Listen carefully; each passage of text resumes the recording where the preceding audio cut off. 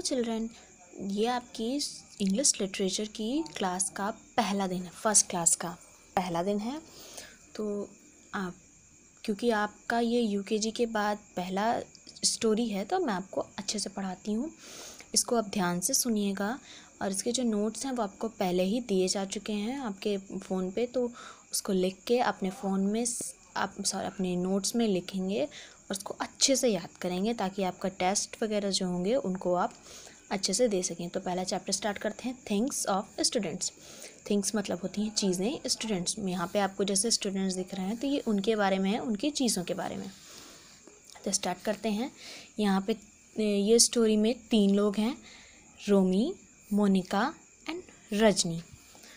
तो अब फ़र्स्ट रोमी रोमी कहता है is this your bag Romi बोलता है, क्या ये तुम्हारा बैग है? Then Monika sir yes it is are this your books हाँ ये मेरी हैं. तो ये क्या बुक्स तुम्हारी हैं? Then Romi no these are not mine these are Rajni's book तो रोमी बोलता है, नहीं, ये मेरी नहीं है, ये रजनी की किताबें हैं. Rajni yes these are my books Rajni हाँ ये मेरी किताबें हैं. Let me put them into my bag लाओ मैं इनको मैं अपने बैग में डाल लेती हूँ। तो रूमी बोलता है is this your pencil Monika? Monika, ये तुम्हारी पेंसिल है?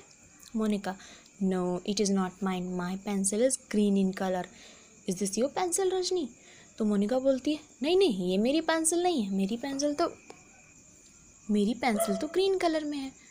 तो रजनी बोलती है no it is not Rajni से पूछती है कि रजनी तुम्हारी पेंसिल है? तो Rajni no it is not my pencil is in my bag तो रजनी बोलती, नहीं नहीं, ये तो मेरी नहीं है, मेरी पेंसिल तो मेरे बैग